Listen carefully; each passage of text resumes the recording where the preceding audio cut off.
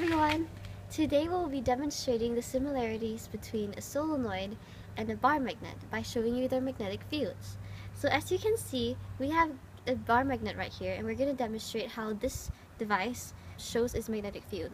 You can see the little red pieces of metal are affected by the magnet. And so, if we put this piece of magnet inside this device, we will see that it shows the magnetic field.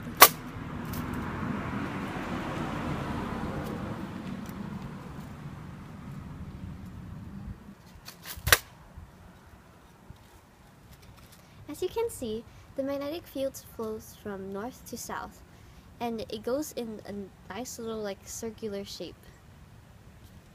So we've just explained what the magnetic field look like around a magnet bar. Now we're going to explain how it's similar to a solenoid.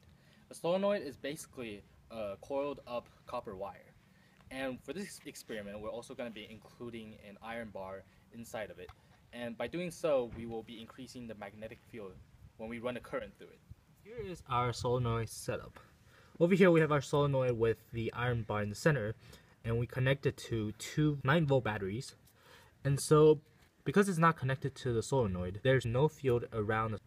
So now once we've connected the solenoid and then we give this a tap, we can see that it generates the same field as it does around a bar magnet.